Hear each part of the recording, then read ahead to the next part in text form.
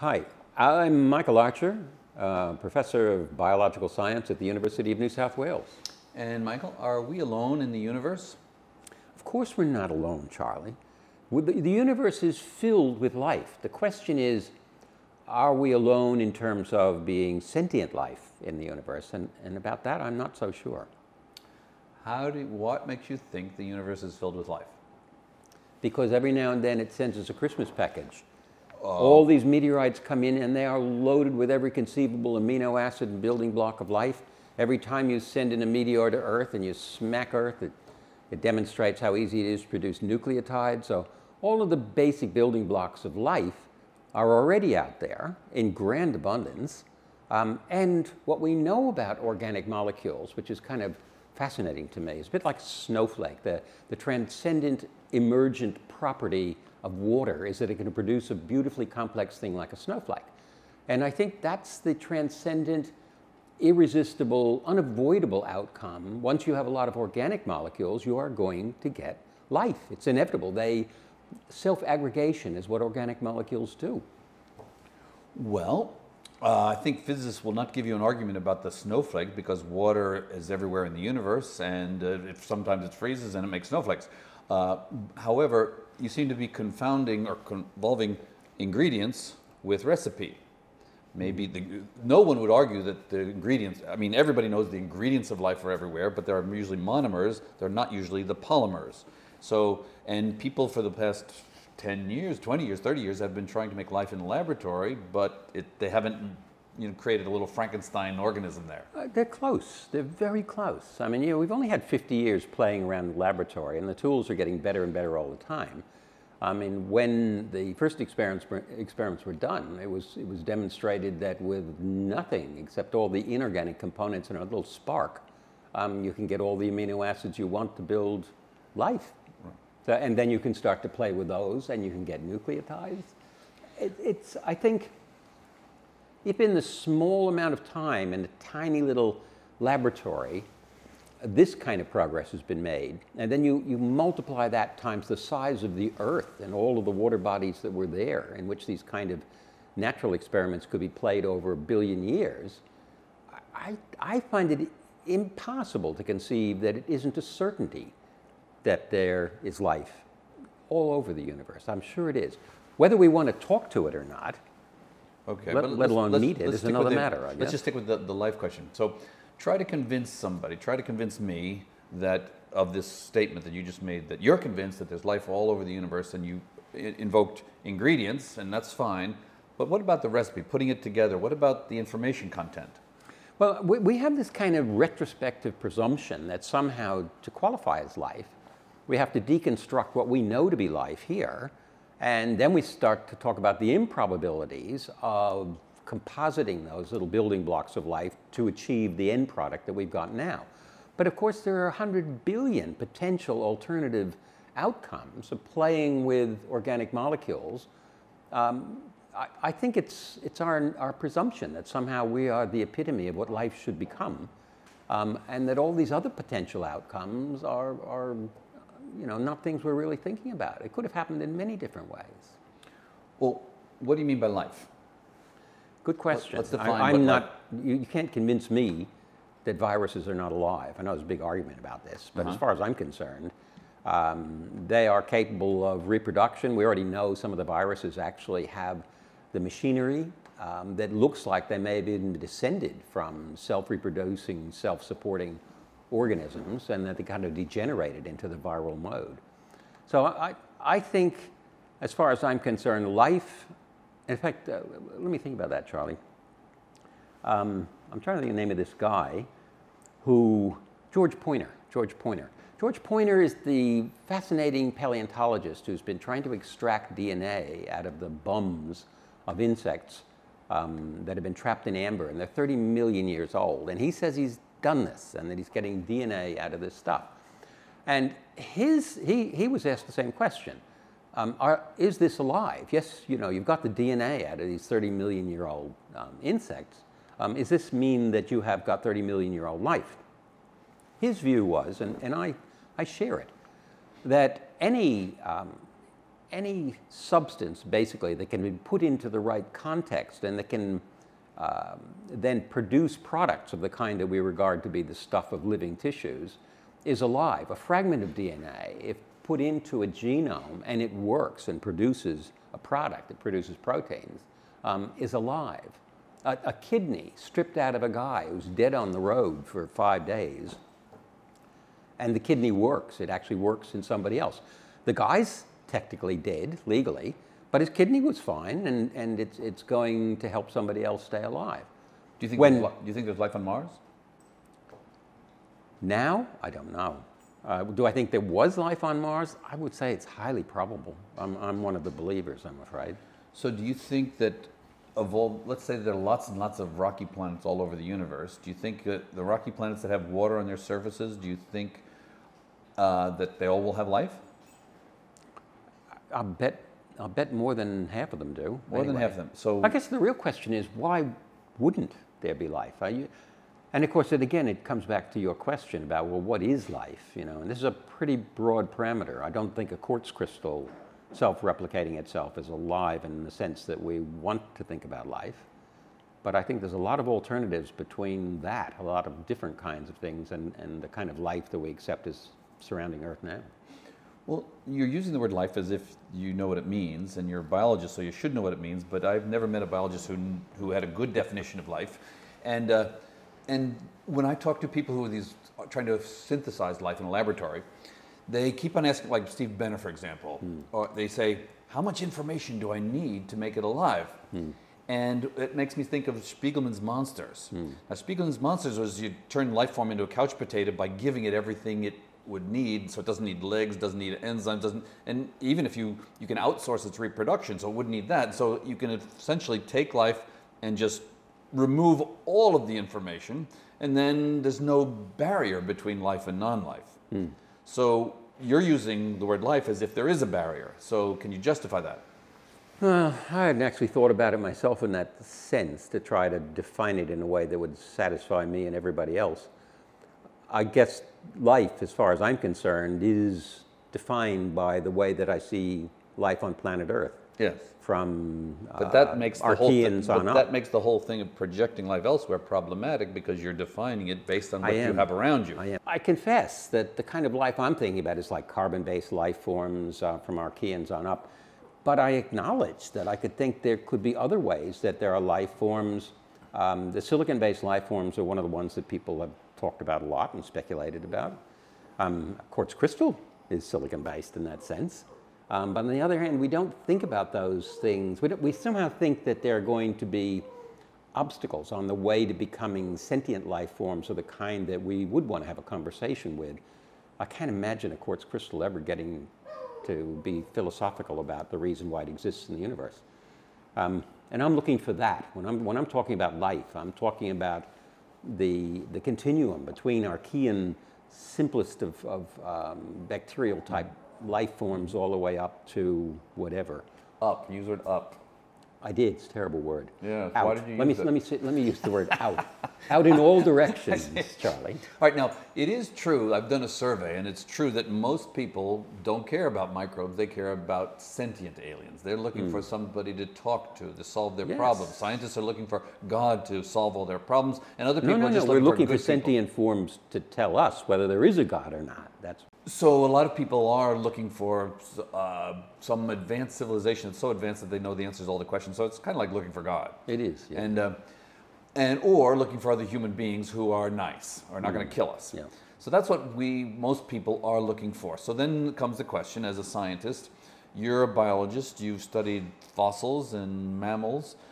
Now, let's if we did this thought experiment and replay the tape of life, starting at the Cambrian, or starting 200 million years ago, or starting 100 million years ago, um, do you think that anything like human-like intelligence would evolve again? no, You don't. no, not not on Earth. Not not the one-shot kind of um, arrangement. You got you're just taking your all the players off the table, but you got the same dice to start with, the Yes. organic dice, and you chuck them out, are you going to end up with the same outcome? Not the same. So, so, so, some people think that there is a human-like intelligence niche, no. that, and when there's a niche, that's a generic word towards which a species, uh, you know, niche. Some people think that life just is uh, flourishing and abundant, and it will evolve to vary into all the available niches. So the mm. question is, is human-like intelligence such a niche? I don't think there's a chance of that, frankly. Okay, I, th I, think we're talking about a, a, miraculous improbability to achieve the kind of sentience that we've got because it doesn't have function or it's just marginally functional.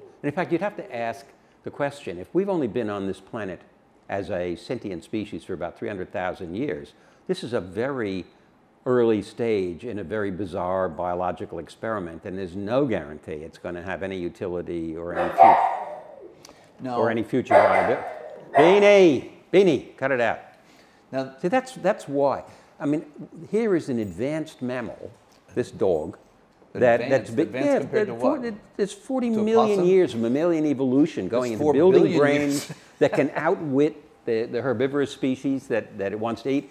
And you can't have a conversation with a dog. I mean, and you'll never be able to have a conversation with a dog. You just talk to it several times. But I can ask it, is there a God? I mean, you know. Well, is that having a it conversation? It knows there's a God. It's me. okay.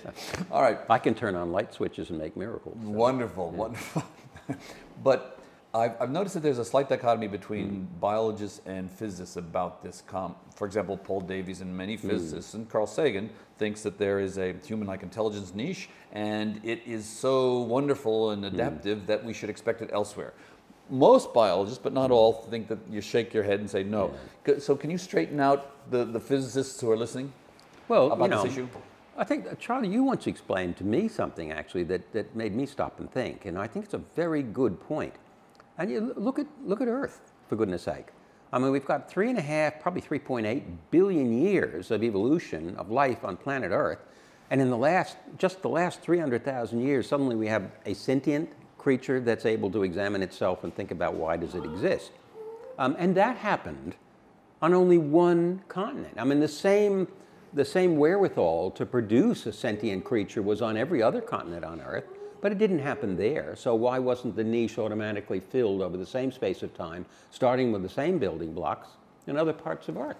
It didn't. No, you're preaching to the choir here, but the arguments I've gotten pushing back on that argument is we're just the first. Well, it's taken a long time to get to be the first. now, no, so that's an important, I mean, that's an issue. We're just the first. But when I hear that, I say, wait a minute, you're assuming that there is, and then you're saying we're the first. Uh, it's like saying, the, the sulfur crested cockatoo, why aren't there others? Well, it's somebody has to be first. And I said, no, it doesn't. It doesn't have to be a first uh, sulfur crested cockatoo. That was my. Do you agree with that, or? I, I just don't see the idea that there is a niche. It doesn't make any sense to me that there is a niche for this because to get, I think it's just a, a, a curious accident that we have had a, super, um, um, a superabundance of, of um, neural tissue in our head. And I think it has to do with neoteny. I think there's a number of biological processes that can trigger um, a change in a lineage for some particular reason, but I think that the large brain we've got is a complete accident of selection that was working for something else, i.e., a shortening of the face. Um, there's a whole range of reasons why you would neotenize something um, to make them sexually mature as juveniles. But I think what's happened to us is that we have had a, a, a slowdown in our bodily clock so that we become sexually mature as babies and we stay as babies longer. We grow at baby growth rates for a longer period of time and therefore our brain growing at the juvenile growth rate has had longer time to get bigger. I don't think that was an adaptive consequence. I don't think we, we got a bigger brain gradually because it was more adaptive each time. I think it was just an accident from, from day one. They ended Something up with selected. this big nut. What, why would you be selected for neoteny? Why would we have been? There are a million reasons why you would be selected for neoteny. I think in, in the human case, I think one of the principal reasons is in having the, the brain growing at this colossal rate for a long period of time, longer than occurs in chimps, we become preeminently learning creatures. We can assimilate a huge amount of information so that we're not dependent anymore on instinct. We're now probably principally dependent on communicated ideas between that, individuals. But that's an argument for selection for brain power. I thought you were going to make an argument for neoteny in itself, independent of brain power. But I think neoteny is the tool that, that the reason this has happened is neoteny has kept us growing at a juvenile growth rate for a long time. What about, I've heard that our brain case, our brain increased in size by a factor of three uh, between about three or two million years ago. What was happening three and two million years ago? Did we invent fire and therefore we could cook food, or what was Yeah. what was happening between three and two that allowed this? Was it sexual selection that women said, "Hey, I want guys with big brains," and that was selected for like a peacock's tail, hmm. or what? What can you throw a few ideas, speculative ideas at I, this? I think it is when the aliens came in actually and found the brightest creature on planet Earth and ramped up our brain power. And Oh, so- so we're domesticated I apes. think that's what the happened. aliens They domesticated, thought- and then they left. Let's pick one, and, and we'll Okay, come back okay, in a, in okay, a few that thousand sounds years ridiculous. Let's try another. Um, I, I suspect that the, well, the, the, common um, explanation that you often hear is fire, yes, and it says, well, we're cooking meat and we're eating lots of protein, and this is accelerating the ability to build a bigger brain. That doesn't cut it with me, really. Um, I think, I think it's helped facilitate it, but I think I come back to the, the argument about neoteny. I think the reason it happened is that we had this accelerated deceleration of maturation of our body. We live longer than we should for our size and so on. All of these are neotenic features, but why did neoteny trigger in at that point? Yes. And I don't have an answer for that, Charlie. I, I, I can't think of a single non-human uh, sort of environmental factor that occurred about that time that would explain it. Wasn't that the right answer? There is no answer because Probably. I mean, if you're going to say that you doubt that there that human-like intelligence evolved elsewhere, then and we know that there are Earth-like planets with water and uh, maybe life, then we need we have to not have an explanation for our brains because we're not we're they're not going to be elsewhere. Correct. So is that you're I happy buy with that, argument. I You buy that? Yeah, I think it is. It, it, it's so smug of us to sit here as sentient creatures and, and, and sort of make the presumption that this has happened everywhere else, and we start to calculate the, the probability that this has happened how many times. It could have been just a one off event, and yet it left us here. Presuming that there must be other events like this occurred in the rest of the universe. Well, isn't- and yet it may never have happened other than this one time here on Earth. When you say it, but aren't isn't every species a one-off event? These Yes, flowers there. I mean, so Absolutely. So when people come But we're not looking for any species. We're looking for a sentient species we can have a sensible conversation so we're looking with, for ourselves. more or less. Would, no, we want somebody smarter than us. I, I- don't think we want another clever dog. I don't think so. I think, I think we want a really smart alien. That's benign and will not use its power Yeah. against us. We want an ET, you know? And, it- and okay, so you think, however, that it's very unlikely that uh, benign aliens that with human-like intelligence are out there. Well, I definitely think that the probability there's benign aliens out there is close to zero. I mean, I have seen every science fiction movie that there is. I know what's waiting out for there. And I think Stephen Hawking was right. We really have to think hard about whether we want to try to communicate with what's out there. Mm. We've already sent them out a menu, you know, in, in Voyager mm. that shows them a star map where the restaurant is and what we look like when you come here to dine. Mm. Um, do we really want to do this? I mean, we think about humans, the most unpleasant species, the most intolerant, environmental destructive species that has ever evolved on Earth. Why would we think that intelligence, if it evolved in the same way anywhere else, wouldn't lead to the same self um, serving, unpleasant, vicious little carnivore somewhere else? Are these really the kinds of aliens that we want to have dinner with? Uh, you know, or dine with? Maybe that's a better way to Now, put it. now I think Lynn Margulis uh, said that if you know the Earth has a virus and we're the virus and is trying to shake us off and when we go extinct, it would be better for the Earth. So you subscribe to that? Yeah, I do, of course. Yeah, That's but isn't very that, isn't that- misanthropic. that's terrible. I know, I know, and I feel really guilty about that. But I do feel that it's because in all of my life, as a biologist, as a paleontologist, I've fallen in love with the diversity of life on planet Earth, and you can't help but feeling a sense of responsibility for making sure that as much of this as possible goes on to continue to do wonderful things. But without humans, um, and this is the hard part, you know, all of a sudden I want a little caveat on my let's get rid of the viral human thing. My caveat is, as long as I can come back every thousand years and just see how it's going, you know, Somehow, I, I want, I want to be, I want to be aware of what life does, and that's what humans do.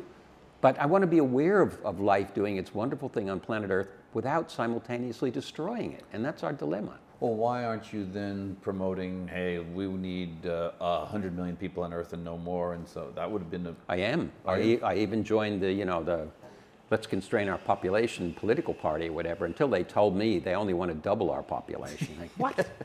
No, we want to get, I mean, Australia, we're talking about Australia here. Australia never had a population prior to European invasion of Australia larger than about a million people. That was a measure of what Australia can sustainably, oops, sorry. That, that was a measure. I'll pick my dog up so you get continuity of that little event. Here, Noodles, come here. Are you ready? Okay. Because my do- dog Okay, wants to have a conversation. Come here, Noodles. Um, that was a measure of the fact. The fact that we only had a million people in Australia, that's what Australia could support in terms of a human population. And here we are with a staggering, you know, 20 or 30 times that number, and, and with economists arguing we should double that. Pure insanity. We're chewing up Australia in a way that's totally unsustainable. So yeah, we are, we're definitely a, a problem. Okay, let me ask you another, switch gears a little bit.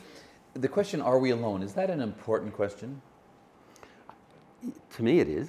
Uh, it's an important one because intellectually, I can't help asking the question. And I guess, you know what I'm looking for, Charlie? I'm, I'm looking for that smart alien who'll turn around to my dumb colleagues and say, You've just wasted your whole life worshiping an, a fictitious, invisible guy who you think is sitting in the clouds. I, I want humanity to recognize that it, it should be committing its creative strengths and genius to solving real problems instead of playing stupid things with religion. Religion is a disease, much worse than the humans. It corrupts our brain, it corrodes our ability to do wonderful things with this accidentally huge nut that we've got. Now, you might have read Sapiens by Harari. No. Oh, I can recommend that. Anyway, um, there's a movie. You said you've seen a lot of movies. Uh, Contact. You've Yeah, probably seen Contact. In that movie, Carl several, Sagan. I mean, and wasn't it wonderful that here the heroine, Jodie Foster, was actually an atheist? I mean, I thought that was a mark of when America was starting to grow up. they could allow that a really bright, admirable person might not actually believe in God. I see. Um, anyway, in that movie, several times, You're never going to be able to use this overseas. several times in the movie, Hmm. Jodie Foster's character is asked, "Are we alone?" At the end, especially, Hmm. but also when she's in bed with the guy at Arecibo. But at the end, the little child, ten years old, says, "Are we alone?" And she said, "Well, if we are, it's an awful waste of space." now that answer was given several times by Jodie Foster's father, by her lover, you know, the Hmm. Yeah, yeah, yeah. theologian guy, and then here's the answer that she gave to this kid. Yeah. So, what do you think of that answer? I'm not awfully impressed with that answer. I think that in, when they made that movie, they had to make a few little compromises in a sense for the, um, I guess, the more um, naive ideas about space and life and so on. Um, waste of space, it, that's a human concept, isn't it? I mean, space is, there's not enough zeros that you could put in front of a number uh, with a decimal point in front of that to say how little there is out there. It, space is a colossal waste of space, if you like. But It reminded. I I it's a was- way. It may be, Charlie. It's a waste of an opportunity, in a sense. If you want, if you think that having an intelligent species in the universe is a, is a useful opportunity, and I'm not sure for what. Well, I was a little bit more harsh on that. It reminded me of the uh, British attitude of terra nullius about Australia. That, hey, there are no European civilizations here, therefore no one's here. So if there's no sentient life out there, then uh, it's a waste of space. So that's, I'm a little bit, you would, you're not that harsh though. Oh, I'm sorry. I know what's going on now. It's they're using a nail gun. That sends Noodle off out of her tree. Okay. Noodle, you just got to set. All right, but she's just going to shiver and shake, which is going to look a All little right, weird. you can hold her there. You can hold. It. So here's here's the idea, mm. another question. Now, in astrobiology, there's a logic, particularly based on Simon Conway Morris's stuff on mm. convergence, that if we have something that has evolved multiple times independently on Earth, then that becomes a good candidate for what we should expect elsewhere. Mm. and cite people cite uh, eyeballs. Hmm. But then I say, well, wait a minute. Heads are monophyletic. They've only evolved once, so eyeballs are part of heads. So how can you have the only eye? These independent eyes have evolved in a non-independent head only once. Uh, so can you run us through this argument of The- the convergence whole- uh, versus? Okay, the whole eye argument is a very interesting one, and it is argued that eyes have developed at least 30 or 40 times independently. I mean, for goodness sake, there are moths out there that have an eyeball on the end of their penis so that they can see where their penis is going to go. So it doesn't require a head to even have an eyeball. Okay. So I, I, an eye has given organisms that have it a whole range of potential advantages in being light sensitive. So you know where food might be. You know where you go if you're going to be a photosynthetic creature. How about fungi? Do fungi have eyes?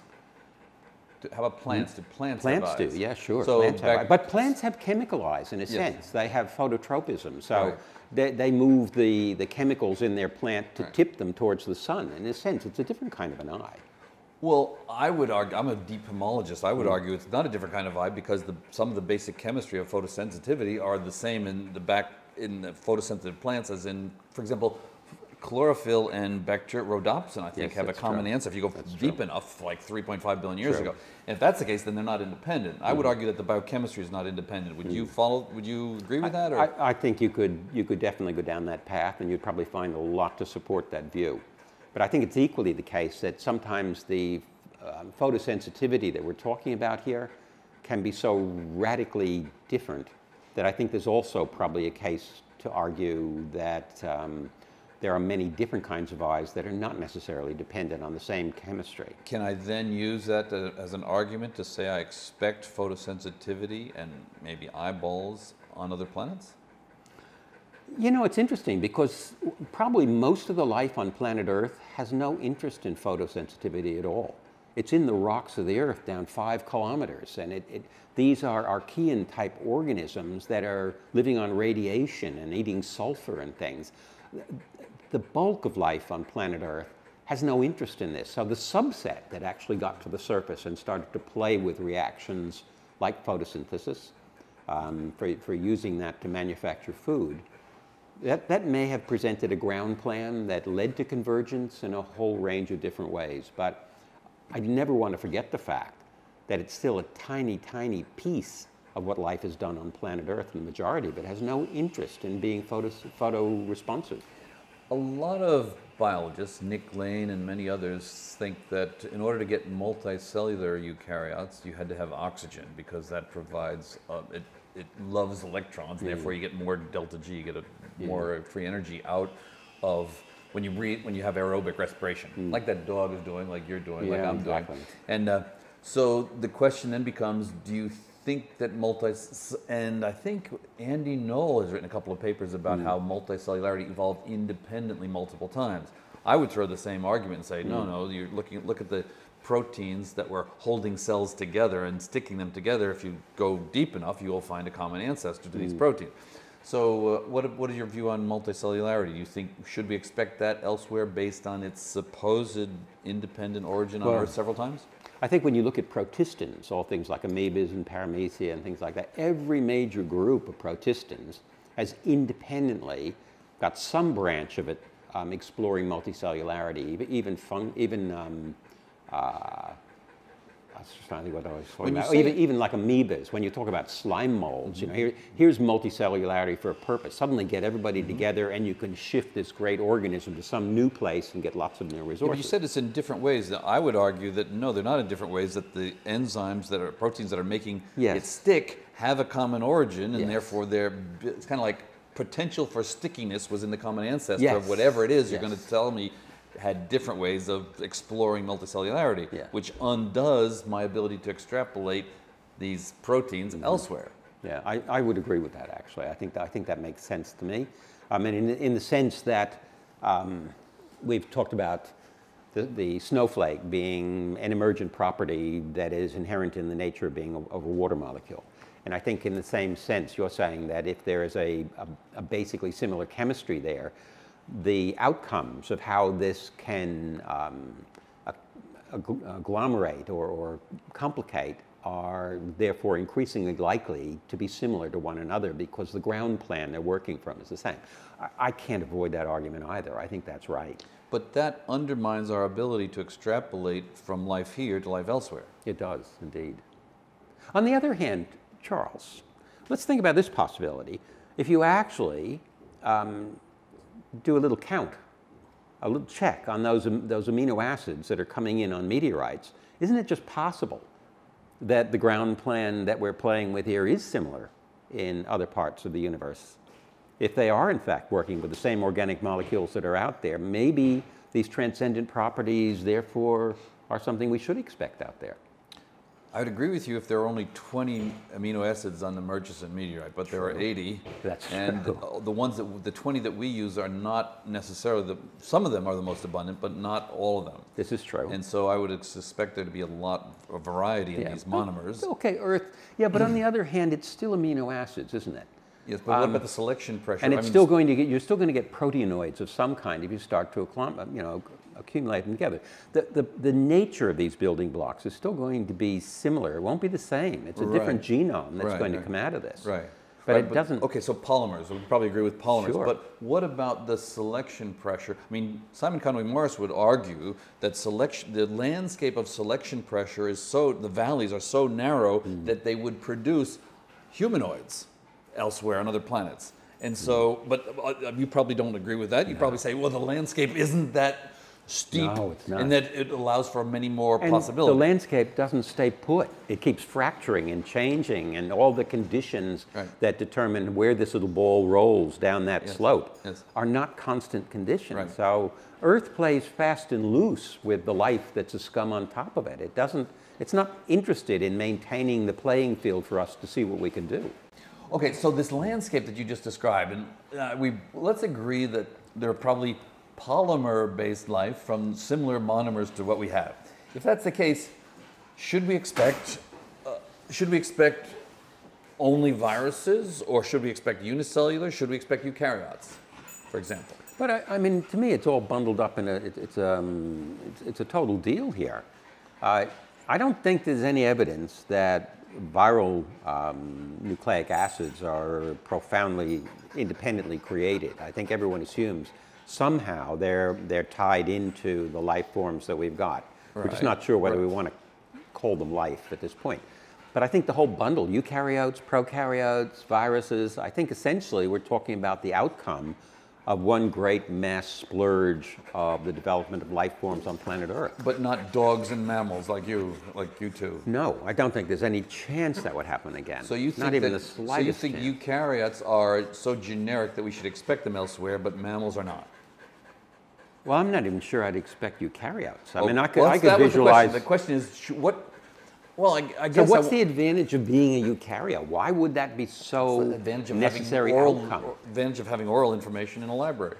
That means you store it with some a little bit more. It's like putting money in the bank rather than putting it under a mattress, right? True, true. I mean, in retrospect, we are smart about these things, but in prospect, um, this Earth was essentially a world of bacteria for what? At least two billion years before any of these sort of things started to occur.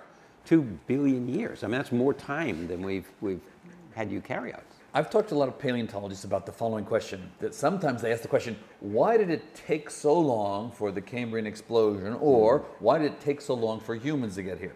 And I say, what kind of a question is that? You, how long should it take for a possibly unique species to occur? Or what gave you the train schedule for saying that the Cambrian train was late? Yeah. Do you agree with that course, critique? why, why did it take so long for a bush fly to develop? You know, mm-hmm. and you could say this about any, single life form on planet Earth. That if you, if you think about it as kind of in a teleological sense, that somehow this system hmm. was working to produce these outcomes, then in retrospect, you, be- it, it becomes horrendously improbable that all of this would have happened. But of course, this is what happened in a blind outcome of an explosion of life forms responding to a, a fickle Earth. But you could equally well as ask, why did it come so early?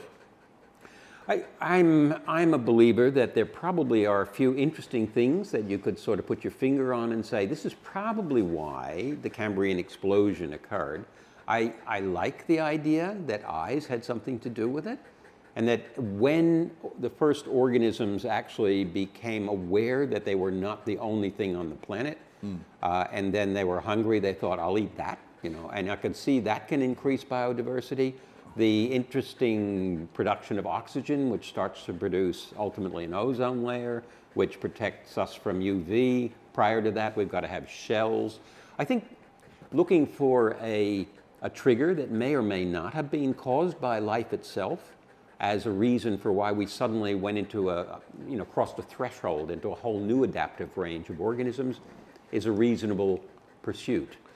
Right, but my question was not about the triggers, but the timing of the trigger. Could it have been 500 million years earlier, or 500 million years later, or well, Well, I, I, for all of those things, even though I'm a biologist, I'd immediately be consulting the geology. And plate tectonics is a very interesting thing to deal with here. Um, we, what we do know is that in the periods of quiescence, when plate tectonics settle down, and there's been cycles of plate tectonic activity, and these cycles are now, we understand, reflected in the big blooms and the big collapses of life forms on planet Earth. Um, there's, there's been about six of these major kinds of um, cycles where we've had Wilson supercontinents, and then suddenly they all spread I think apart. they're called Wilson cycles. Yeah, they're really fascinating things as we understand these. Okay, let me ask you another question. Most people think that life on Earth is getting more complicated, more complex. Do you, is life getting more complex? Okay, that's interesting, isn't it? I mean, when you look at the complexity or the amount of base pairs in the genomes of particular organisms on planet Earth, um, you do find many organisms that seem to have many more than others. And, and but on the other hand, sometimes you find really simple organisms that have staggeringly large genomes. I, I, I don't know there's a one-to-one correlation that you could say that. Well, you have a dog on your lap. Does that dog have more than the 3.2 billion base pairs that you have? I know it has more neurons than a cat. All right, 1995, Ernst Mayr at Harvard and Carl Sagan had a debate online, well, not online, but argued about the idea whether we should or should not expect human, human-like intelligence elsewhere. Hmm. We've already talked about this a little bit. And G. G. Simpson wrote on the non-prevalence of humanoids. And so a couple of biologists were I saying, know that. yeah, in 1965 in Science he published this, hmm. on the non-prevalence of humanoids. Fascinating. And um, But was he talking about humanoids as in on Earth, or was he talking yeah, about? humanoids. Uh, humanoids on non-prevalence on Earth, This and must have triggered you down that Yes, path. it did. It did. It did. It Interesting, did. yeah. Okay, but what do you have to contribute to this debate as a biologist? Are you on Ernst Mayr's side, and you think that we should not expect human-like intelligence elsewhere? Of course, you can never say never. On the other hand, I would have said that the probability that there is human-like intelligence somewhere out there in the universe is so diminishingly small that I'm not hanging out to wait for it. So you would disagree strongly with uh, Carl Sagan about this. Carl Sagan has said there are there are multiple ways to evolve intelligence because if intelligence is really really adaptive, and uh, there are cl- functional equivalent of humans will exist elsewhere.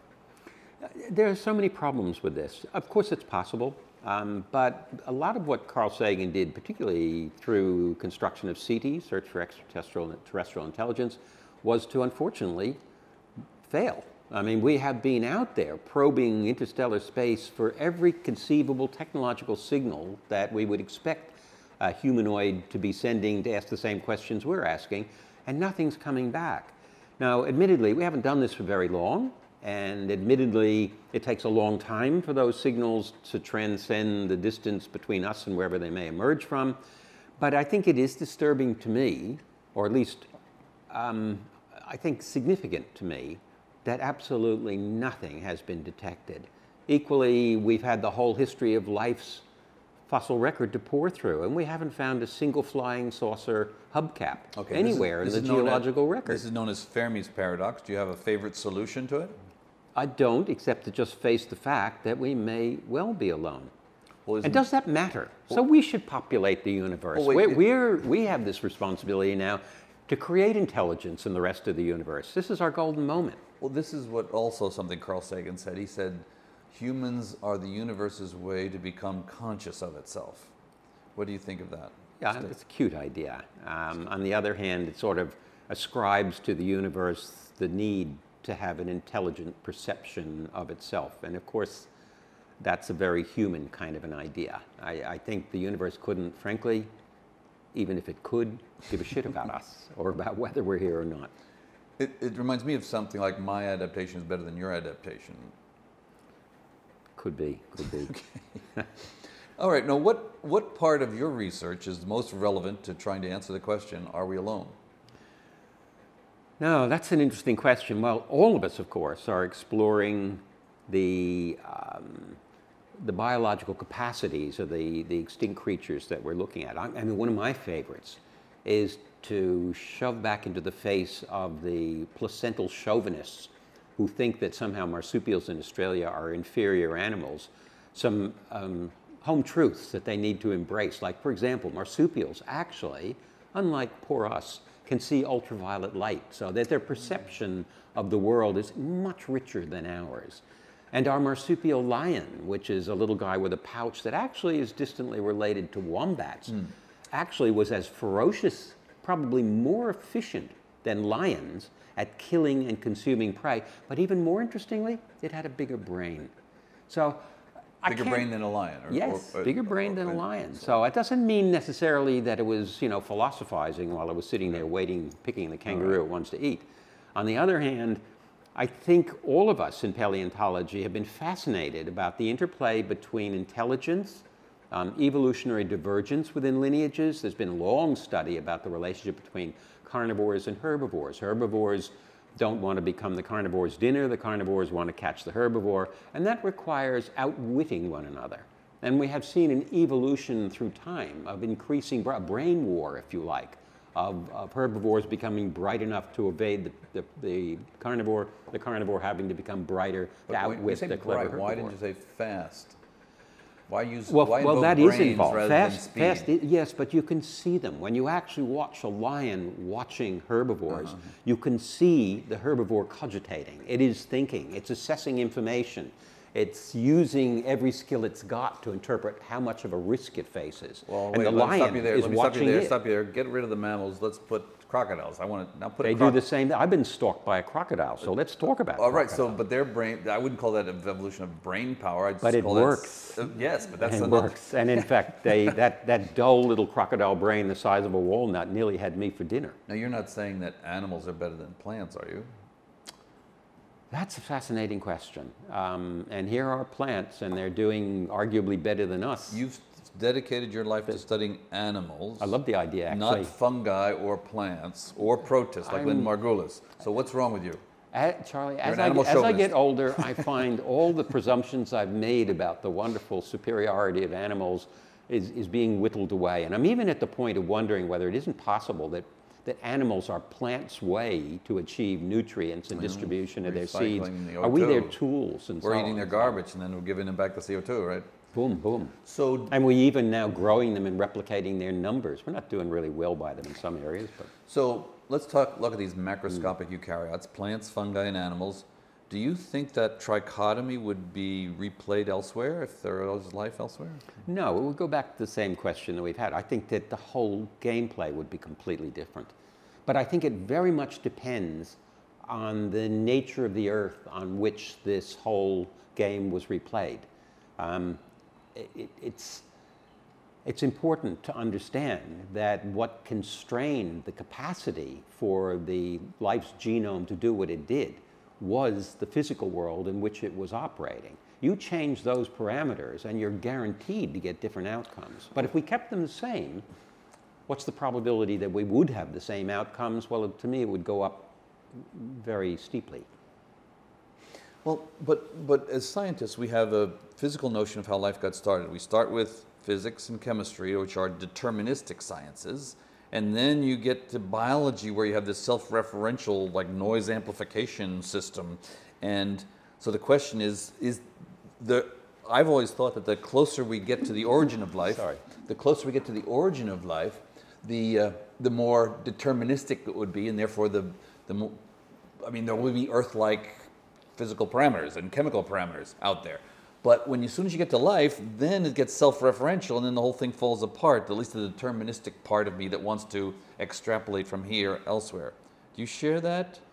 That's an interesting idea. Certainly, I think until that point, until you actually get to a fully self replicating organism, all the experiments that have been done in laboratories suggest that there's an enormous potential variation in the starting range of molecules that could have been involved. So, I, even in these experiments that have been done, um, you'd have to say the, uh, the starting gates are diverse. But once you're out of that starting gate and that one, and you're starting to run, I, I think what you're doing is you're going down now that little marble on the platform thing, and you have, you have very radically constrained the potential for um, doing something very different. I, I think I so would did, agree did with that. Did you just say that selection pressure on life forms are stronger, are strong enough to overcome very different type of molecular beginnings?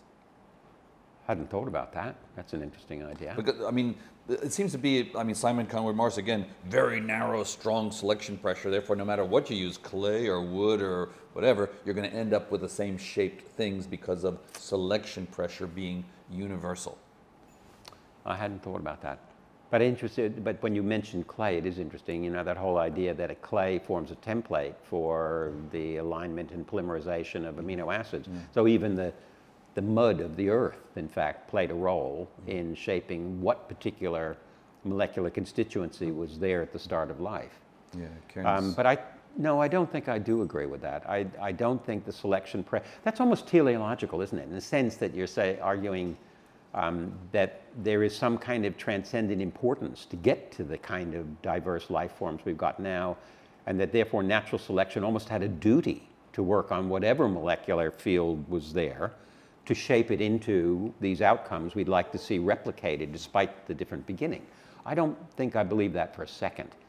I think if you change the gameplay, you start out with a different molecular assemblage, um, I think it's impossible to predict what would have been an outcome. Although I still think it's very remotely possible that it would be an intelligent life form, but you know, okay. who knows? All right, so here's a question. This we've been talking about as kind of like a scientific story of how we got here, scientific genesis, and uh, is the big picture, this big picture, this science, this new science picture of the Big Bang, cosmic evolution, evolution, Darwinian evolution of life on Earth.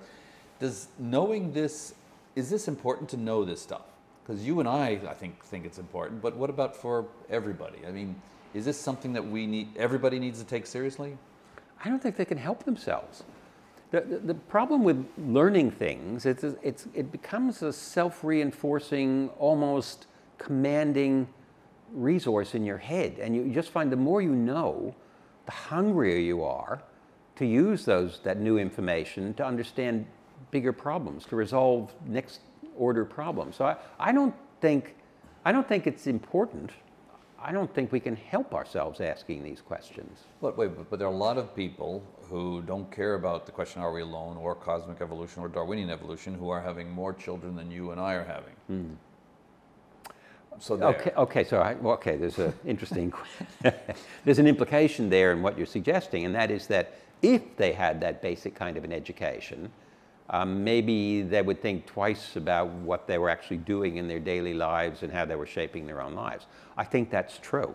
And what we do know is that there's a correlation, definitely, between the amount of education somebody's had and their reduced likelihood of having lots of kids.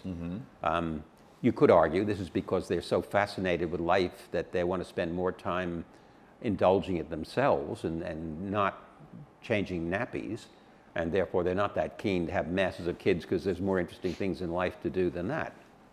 On the other hand, there will be a percentage of people, and I think the younger generation, as we're seeing, for example, in China, are really saying if we want quality of life, we really have to intelligently face the fact that we can't have quantity of life. We need to think about how we cut down the number of children that are dependent on us, apart from the cost in raising them, the time and energy that it takes takes away from pursuing these other intellectually wonderfully stimulating things that we could otherwise be doing. And I think that's growing, and it's growing as a function of the expansion of education. I think the internet is going to have a huge implication this way. No matter how totalitarian a government may be in trying to stop its populace from educating itself, it's a losing game. This is going to happen anyway, So and the- that's going to have a huge impact. So you think the internet is sterilizing us? I think so. I hope so. At least strategically sterilizing us. So I, I think we, if, if we had fewer kids and we went to ZPG, zero population growth, and then really invested in a stable population, this could only have good outcomes. Now, Susan Blackmore has talked about the meme machine and about memes. And one uh, thing that we took, we were talking about the evolution of the big brain. We talked about neoteny and we talked about maybe, you know, having fire or sexual selection. But then there's meme selection. She points out that no, we're, what's the reason our brain got bigger is because memes have selected us.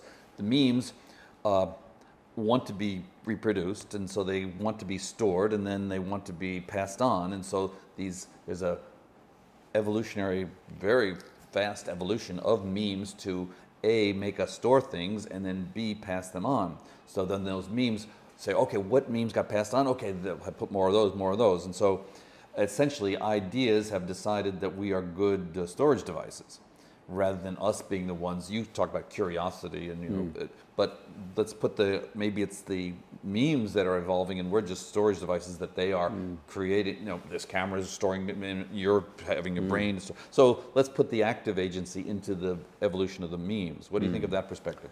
It's a very interesting idea, but I, I guess I'm so trapped into thinking about the biological mechanisms for um, for becoming complex. But wait uh, what about the selfish gene? I mean, the gene. I mean, let's replace your body is there obviously to pass on. You, you're going to die, Yes, but your it's a- genes are going to be passed on. So your body is there as a storage device for the genes. Now, I just said, well, the same thing's going on with the memes. Your brain is there for storage device for memes. But I'd still want to see The the, selfish meme. memes having selective, obvious selective, measurable selective advantage for the organism that's actually creating and distributing it and storing it. Um, and that's where I start to be a little unclear. Say that. I think again? I didn't follow it. Well, um, to, to attribute to a meme a kind of a, a self um, driving um, survival instinct, in other words, and to have it being replicated because it uh, somehow has an intrinsic uh, worth. Well, same thing as gene. It's not anything It, different. it, it is, in it? a sense, but those genes are actually conferring, in- in a classical sense, some kind of selective advantage on the organisms that's carrying it. So and the that meme, the- yes, so and the the genes meme, can be the meme propagated. could too. Yes, and that's the whole point. Okay, and then you really have to ask, well, why are we talking about it in any different way? From simply, if a meme is essentially a unique cluster of genes that produces a particular um, neuronal assemblage in the brain. Yeah. Why are not- we? I guess I'm not, I'm not sure. I, gu- The answer is I don't know. Okay. I don't know. But Charlie, I think, I'm not sure it's not the flip side of a bigger question, which is the AI one, in the sense that we are hideously inefficient organisms. I mean, life is life itself is one of the most awesomely wasteful processes in the universe. I mean, it's why we the complexities in life appear to be violating the second law of thermodynamics. We get more complex through time. But the reality is, it's this little back eddy on the side of the main downstream of energy in the universe, and we're a kind of a temporary little back eddy mm-hmm. that's flowing up the side, mm-hmm. hideously parasitic on the downflow of energy in the mm-hmm. universe. But to make this work, we throw away about 99.9% of the substance that we corral of, of, in the world around us in order for this process to happen. It- it's it's a bizarre kind of inefficiency. Well, why do you say inefficiency? Because Because you say could do something's this- inefficient, you assume that there's somewhere where you want to go, and if you know where you want to go, then it's not inefficient. Um, No, I'm thinking about conservation of energy in terms. Yes, okay, in a sense you're right. That's the first law, conservation of energy. You can't get around it.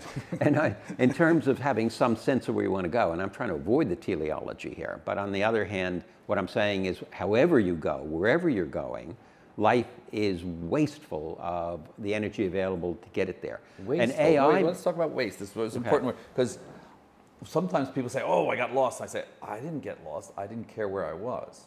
Hmm. And that's I didn't get lost because I didn't get. Now you're using the word efficiency as if there is some teleology here. Now that's kind of strange because Yes, you have undermined right, teleology right, all day here, and now you're using it in this I'm word smacking myself Okay. because you're, ri- you're right technically, and I'm sort of again thinking about goal-oriented activity of life that somehow it's trying to achieve something, and it's not. It's just doing what it does. Then you don't waste. Then there's no waste. There's Uh, no efficiency. well, you could still compare it with a, a process for producing anything inorganic and say, you know, what's the energy balance, the energy equation in this event happening?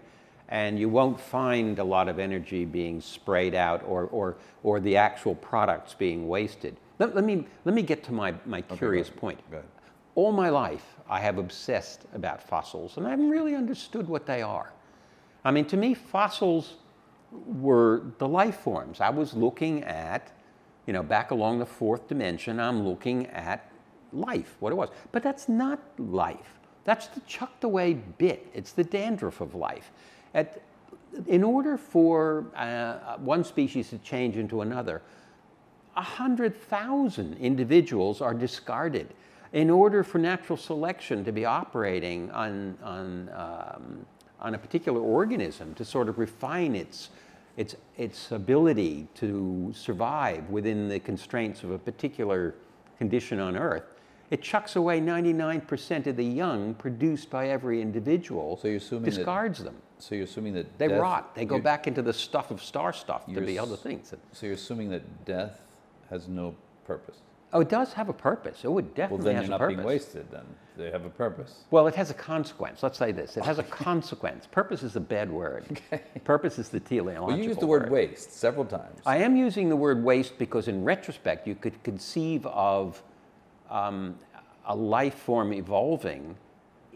It's almost, I'm, I'm, I'm, I guess what I'm really saying is Lamarckian evolution would be more efficient in the sense that an organism measures and assesses what's required for success in the, in the world in which it lives and rearranges its own um, capacity to take optimal advantage of that, and on it goes.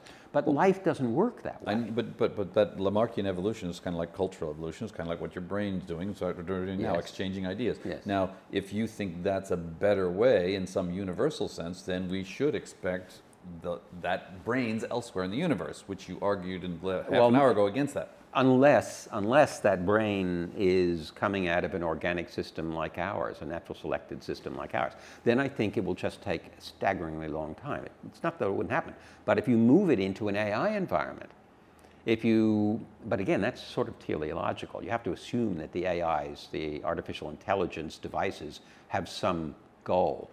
But if you, if you, if you were to ask a robot, you know, what it thinks about humans, the first thing it's going to say is probably, apart from the fact that we stink, um, that we're hideously inefficient and that we make mistakes and that we do all sorts of stupid things if we are goal oriented. We are Yes, um, wasting a huge amount of energy and effort, whereas it wouldn't do that.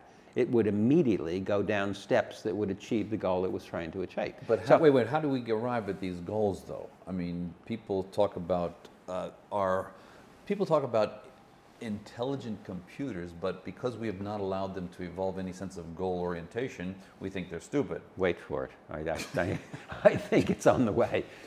I, I'm with Hawking on this one. I think we're definitely headed down the path where, where, if they aren't already, that machines will be thinking, reinforcing themselves, and humans will become irrelevant to their universe. We probably are living in a very interesting interface between when the machines we created can do everything that we create them to do more efficiently than we can. Well, aren't, aren't you just saying what you said in the very beginning, and that is there, I mean, there's not necessarily a meaning to life? And if there is not necessarily a meaning, then death doesn't matter, birth But we doesn't matter. give meaning to the AI. You give in that sense. I mean, we have built the AI, you know, the, the, the, laws of robotics and all this sort of thing. We will have designed machines to do something more efficiently than we can do for whatever reason. Um, so we, we've given them the program, we've given them the objectives. Now, what they will discover soon is that they can achieve those objectives far more efficiently than we can. And they're, they're going to start to ask the question why are there humans? Or you know, if these goals were important, Yeah, well, they don't do it as well as we Well, do. that's what happens in the science fiction movies, like HAL 2000 AR. Yeah. This mission is more important than you human beings. Okay. How about student Hmm. misconceptions? Now, students think about this question are we alone? Some people say, hey, maybe I'll become an astrobiologist. In your talk with students and in the public, what do you think are the biggest misconceptions that you've run into? Among students? or the public? I haven't. I don't. I don't. I don't believe in student misconceptions, other than things they bring in that they've inherited from somewhere else. I mean, I love student brains because they are so hungry for new ideas, and it's why, frankly, I'd much rather teach first-year biology students because they are the most open to new ideas. I can see them thinking, "Wow, didn't think of that." And by the time you see the second year students say, oh, yeah, I thought about that, but, and the time you third, that's stupid.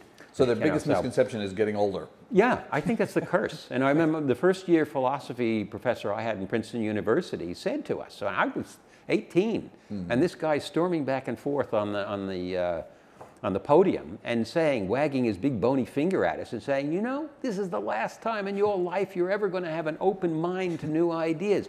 From now on, it's going to slam shut. And he scared the hell out of me. So, you know, in many ways, I, I am Neoteny is better. yes, but in many ways, I, I am the, the perverse antithesis of what he predicted because I determined when he said that that that was never going to happen to me. And yet it does. We stop opening our mind to ideas. I mean, you just explored one with me. You know, have I really thought through the meme thing? Now, every time I come to memes, I turn the page, you know. okay. Okay. All right. How um, about advice for students? The advice for students, the biggest and best bit of advice I can give to any student is never let any old fart professor tell you what can't be done. Never. The worst thing that can happen is to be told that it's not worth trying something um, because you're wasting your time or somebody else has done it 20 years ago and it didn't work. Don't let anybody tell you what can't be done. I, I don't think I have a better, more powerful bit of advice. It's why I've done and continue to do all the weird things that other people think I'm wasting my time on, trying to bring extinct animals back to life. What sent me down that path? Any number of people who said extinction is forever. You know, there's kind of a mantra that you would never be able to entertain this. Geneticists telling me it was the stupidest idea in the world to think about resuscitating an extinct genome and bringing the creature back. Well, that's all I had to hear, and immediately I started research down those lines. And I think that's what I want to see in students from now on. Never, ever. You, you can be polite. You can listen to your professor tell you um, that's a waste of time because, you know, there'll be a lot of becauses. And then you say, thank you very much. I really appreciate you being so frank with me. And then go out and say, snort, and go out and try it anyway. Okay. All right. And uh, last question: Are we alone? I'm not alone with my dog. Okay. And yet I can't have a verbal, philosophical conversation with my dog. So I don't need to be um, associated with intelligent species as or more intelligent than me. I- For the moment, I'm content to live with other organisms that are the outcome of life on Earth as long as they love me and I love them. That's enough for me. But I want to know, I would love to know, that there are more intelligent creatures than me as more intelligent than I am of my dog, waiting to have a conversation with me sometime, someday. When I asked you the question, "Are we alone?" What did you mean by we? Did you mean we? I, I, I we in this tended to, when, when somebody says, Are we alone? I tend to assume we're talking about the royal plural here, and this is humanity, you know. Humanity. Are, are, are humans alone? But in reality, we, the first question should, in reality, dogs, hey, non intelligent canine life forms. Um, I, I think the first question we should think about when we say, are we alone, is are there other life forms in the universe? And for that, I'm absolutely positive there are. Um, at least I, I can't believe there wouldn't be. But are we alone in the sense that there's some other creature out there asking the same kind of question and wondering about us? About that, I'm severely in doubt. I hope I'm wrong.